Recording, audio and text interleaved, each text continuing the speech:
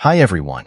If you have two WhatsApp numbers and are still using dual apps on Android, or even two phones to have them both logged in at the same time, then you can say goodbye to those methods. With the multiple accounts support in the latest version of WhatsApp, you can now have two WhatsApp numbers logged in at the same time on a single app and phone. To set up a second account, first your phone has to be able to accept multi-SIM or eSIM. Then obviously you will need a second phone number or SIM card. Once you meet these two requirements, you can do the following steps.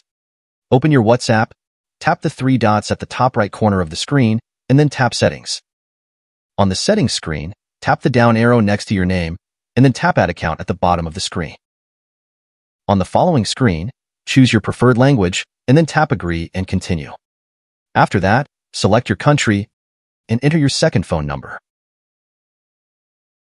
Tap Next to start the phone number verification, and then tap Yes when the confirmation dialog appears on the screen.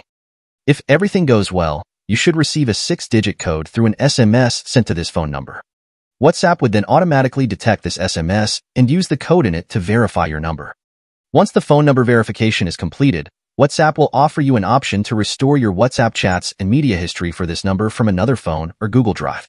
For this tutorial, since my number is a new one, I will just tap skip and then tap skip restore on the confirmation dialog.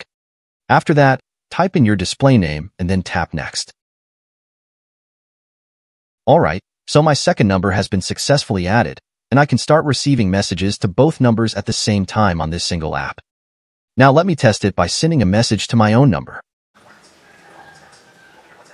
Alright, to switch to the other account, simply tap the hidden menu icon and then tap Switch Accounts. It's that simple and convenient. Now should you want to remove the second account from this WhatsApp app, simply follow these steps. Switch to your second account, tap the hidden menu icon, and then tap Settings. On the Settings screen, tap Account. Then on the Account screen, tap Remove Account. On the Remove Account screen, tap Remove Account button, and then tap Remove on the confirmation dialog. Alright, so that's how easy it is to add and remove a second account or number on WhatsApp. I hope you find this tutorial useful, and thank you for watching.